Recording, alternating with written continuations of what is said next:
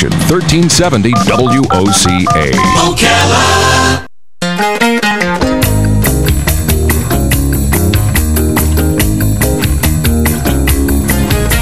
All right, five minutes after 11 o'clock. Did you know that the Marion Theater in Ocala is the first theater that had air conditioning way back when it first opened up? Oh, that's pretty cool. Can you can you imagine going to a movie theater that has no air conditioning? I just can't.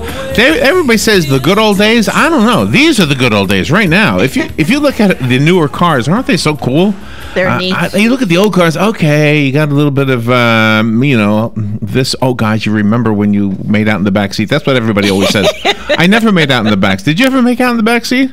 Uh, sort of. Why were you in the back seat? Wasn't Well- the front seat big enough? Yeah, but his car had the seats that went down, you see, from the front seat to the back. He had one of those old 1950s vehicles, and the and you got into the seats just- back. well, no, the seats in the front just kind of went backwards into the back seat, so you didn't have to move at all. just so I've known you for so long. I've never known this mu- this information. Well, you must have made out in the front seat then, if you didn't go in the back seat. I think so. I'm not really sure. I'm not really sure. Have you seen the new cars? Let's get to with the topic at hand. Brian Moody is on the phone. He's an automotive journalist. He's going to write a story about your backseat, Robin. Okay. Uh, he's the executive editor of Autotrader.com. He's going to tell us how to find the perfect ride and the 12 must-drive vehicles of 2017. Good morning, Brian. Hey, good morning. Thanks. I think every parent is now just having, they're in shock. Oh, I can't take it. I just can't be a parent in this day and age. Where are you, Brian? Where are you calling from? Atlanta. Atlanta. Okay. How's that bridge going? Uh, That's horrible. That story about the Uh, bridge. not well. Yeah. Not well at all. You- there isn't one. Do you have to use it? Did that cause you to have a problem? No, actually, it made my commute a lot easier because the way that everyone has to go to get to that one thing, they no longer go my way. So I'm like, hey, let's do this more often. I like this. Oh no!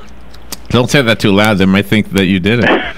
Did what, okay? Well, it makes my it's it's sort of like when you have spring break or say New Year's Day. If you have to work on one of those days, you're like, this is actually kind of nice. Everyone to stay home more often. oh, that's too funny.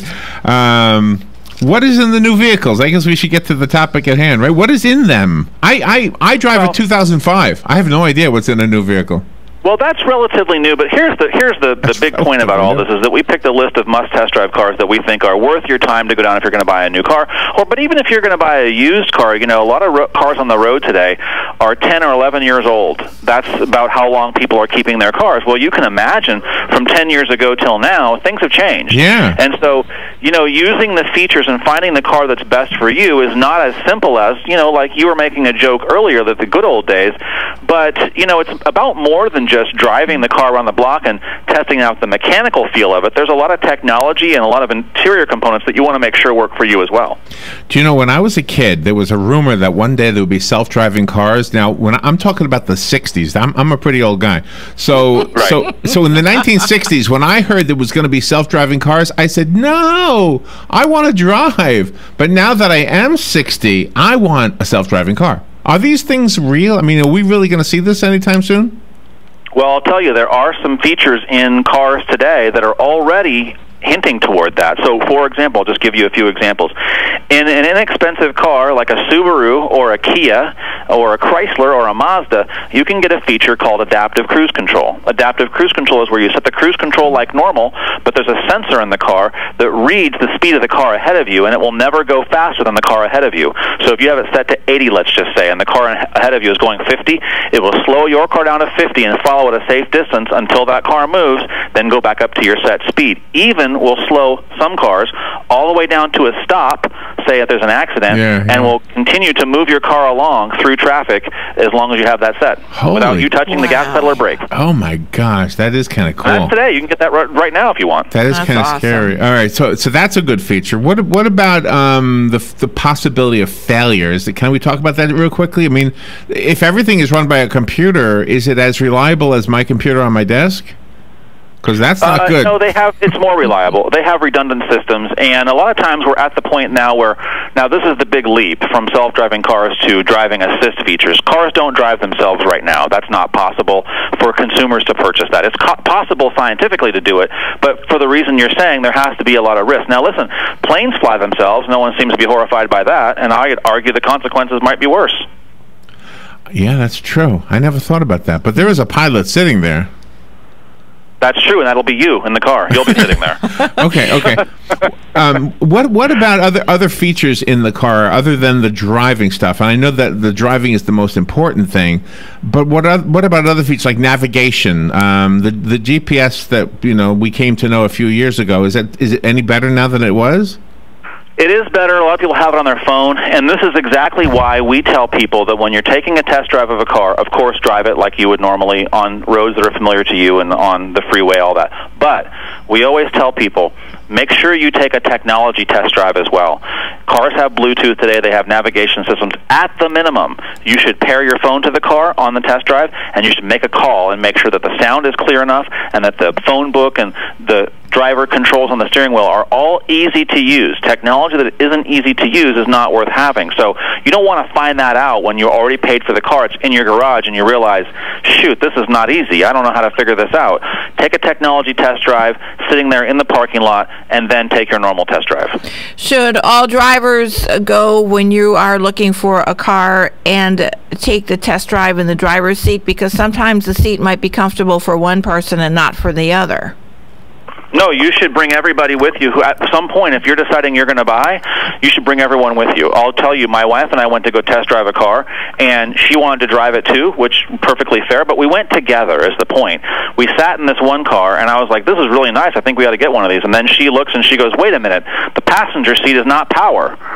I don't want this car. If I'm going to be in the passenger seat at least some of the time, I want it to be just like the driver's seat, just Yeah. as comfortable and be able to move back and forth with power. Yeah. So we didn't get that car. We got a different one. All right. Somebody told me one time, so this is a question for you, that the police will be able to stop your car by hacking into it. uh, Like there'll be a legal way to hack into your car. Like if you're a bad guy and you just robbed the bank and they're chasing you, rather than chase you, they can just turn off your car. Is that true? Is that going to be in the car? That already happens. That can already happen. Wow. If you have a car that's equipped with OnStar and you report your car stolen, the police see it, they can call OnStar, and OnStar can disable your car and have it run at less power um, to the point where you can even track it and find out where it is. So it's just a matter of time before we can get to that point. Ah, Today, wow. it's an opt-in thing.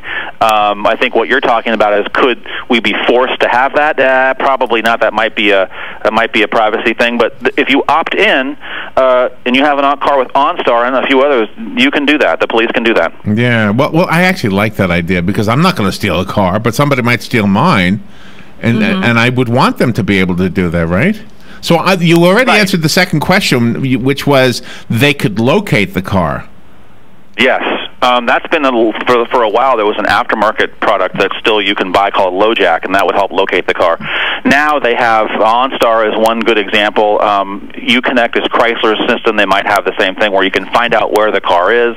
Uh, the hard part with this is that you don't want that c- consumers to have that information necessarily. If someone stole your car, I don't know that I want to go down there and deal with it myself. I know.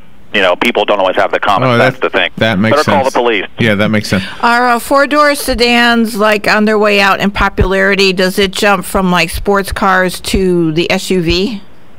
It's just SUV all day long, every day, all sales. I mean, listen, if you want a great deal on a really good car, look for a car like a Ford Fusion or an Infiniti sedan. The truth is they're they're less expensive because the demand is lower and there's also a much better chance that you can get a great deal on a car, a sedan, where the sales are off 12, 20, 25, 30% in some cases because people aren't buying those. If you want an SUV, well, welcome to the club. You're going to pay because when something is in demand, then there's little chance for a discount. So if you want the same thing everybody else has, great, get in line. You'll pay what the sticker price is. Uh, Brian, I, we've probably taken up your time and didn't get to the question about the must-drive vehicles. Can you okay. can, can you name one of them? Just tell us one. I want to check one out.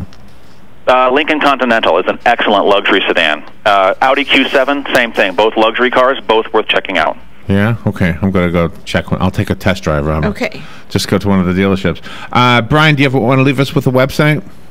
Yeah, if you go to autotrader.com slash must test drive, you can see all 12 of our must test drive picks, and there's a little video for each one explaining why we picked that car, and there's even uh, last year's winners too if you're looking for a used car. Okay, autotrader.com slash must test drive, right? Yep. Okay. Catchy, right? Very good. I love it. yeah, Got very, very good. caps on. Th- Enjoy that. Uh, enjoy that downed bridge while it lasts. Thank you. Thank you, Brian. All right, we'll be right All right, back. bye. This is WOCA Ocala, the source.